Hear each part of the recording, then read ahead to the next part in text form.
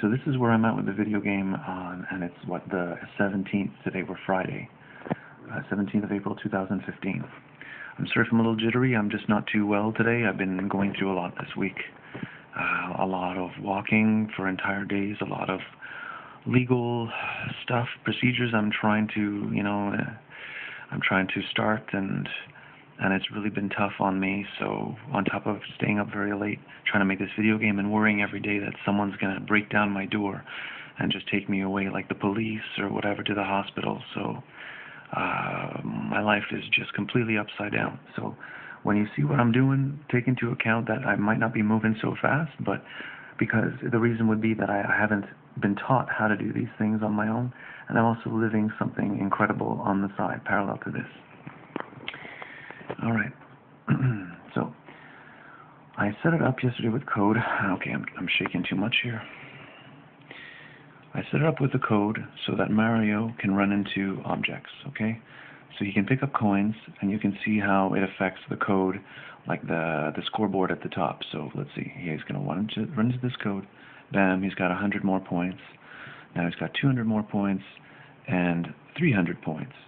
Then he picks up a grow mushroom, uh, excuse me, a one-up mushroom. I call it a one-up mushroom. I think that's what everybody calls it, but uh, and nothing shows up on the like you know anywhere else, but the score goes up to 500. So it's 200 points for uh, a one-up. Then he's going to get another 200 points, but he's also going to grow with this mushroom here. Okay, now the animation is not complete, or doesn't, it's not able to complete because, unlike the original game, I didn't set it up so that everything pauses while he's growing. Uh, I'm going to have to change that, of course, because it all has to look very authentic.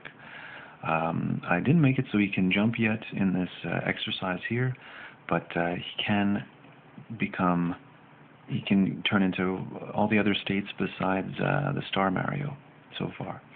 I'm still really nervous about the Star Mario setup because it's code that's going to be like working apart from everything else. He's got to be flashing at a crazy rate.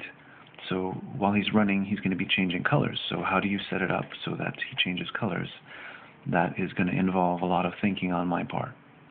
I mean, I, I did uh, an exercise on my own with a block to see how I can get it to change colors on its own but it's it's not Mario that's changing. It's just a block. So he's also the block is also not moving all over the place uh, and animating with other frames at the same time. So I imagine I'll use conditional statements that if he's already if he's like the regular you know firepower Mario or if he's the big Mario or the small Mario, it's going to alternate between uh, certain you know set of uh, colors and certain animation uh, images like animated uh, frames. Anyway, so when he runs into the Goomba now, I just have to, uh, well, he's supposed to just be small and be able to run around, but because, again, I haven't set it up as a condition so that he could continue for a few more seconds uh, without being affected by any hit tests, well, he dies automatically now.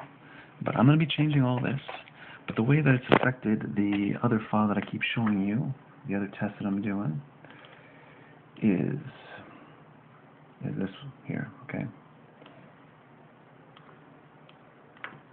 So Mario, you know, like before, I'm sorry, I'm really nervous about my door. I keep hearing things outside and I wonder, you know, I always wonder now if someone's going to come and, and take me. My doorbell rang earlier and I just went nuts.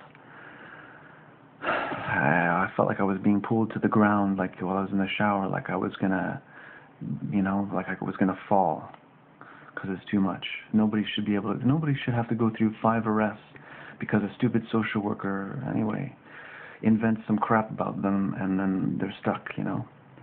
I don't care if she's lost her job. I don't care if she can't work again. I don't want her to ever work again as a social worker because there's no reason why anyone should have to go through this because of someone lying, making up stories to protect her job and her her relationship there. Anyway, uh, so anyway, uh, I'm talking about the video game, but I'm just losing my mind today. So, I mean, not literally, but uh, let's say my feelings are making me sick.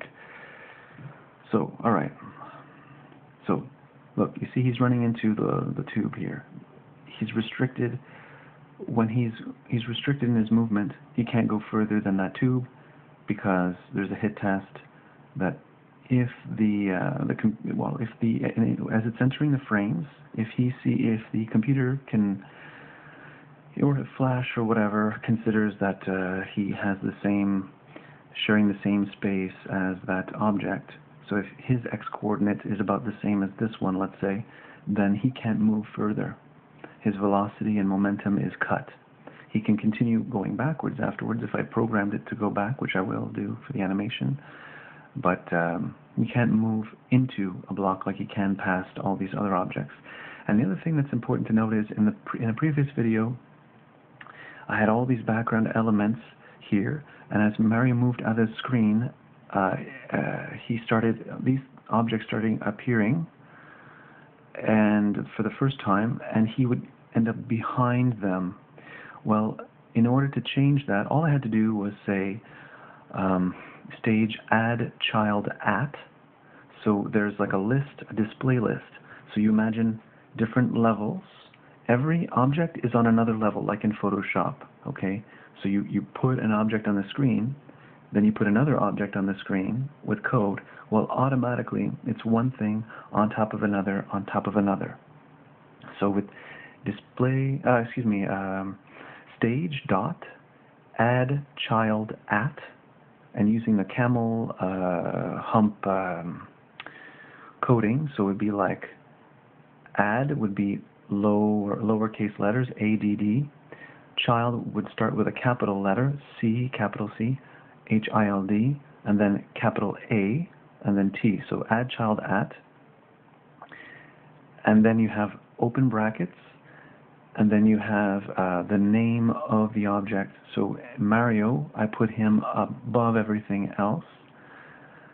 Actually, no, I did the reverse. I put everything that was being added to the stage at a level way behind Mario.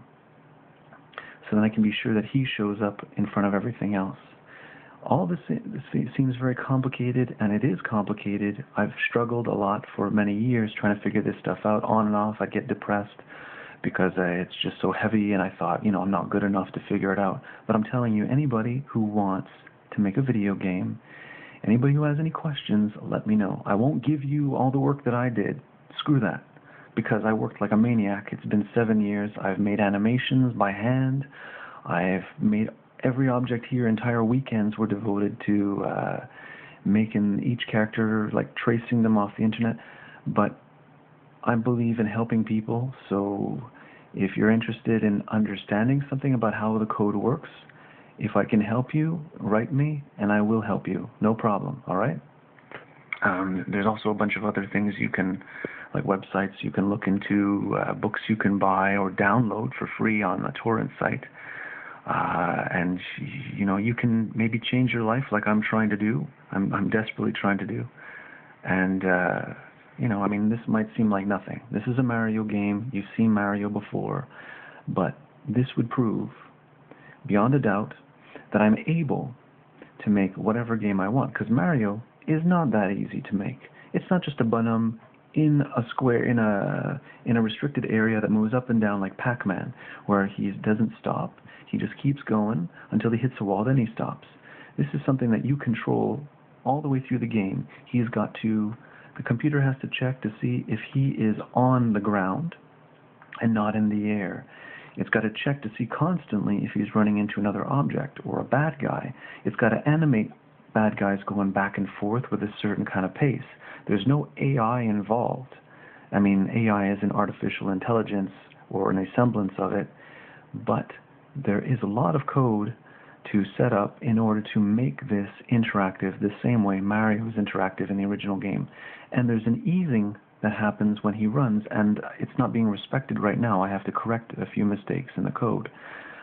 But, I mean, between the easing, between the, all the considerations for how this is supposed to work, the timer, the, the flashing animated objects, uh, you know, making things appear and disappear off the stage all the time, and add to scores and add to all, all the um, everything that makes Mario what it is, and then the music that I'm going to have to create myself and try to make it as close to the original as possible. It's very demanding. So if I can prove that I can do this, then I can do anything, and so can you.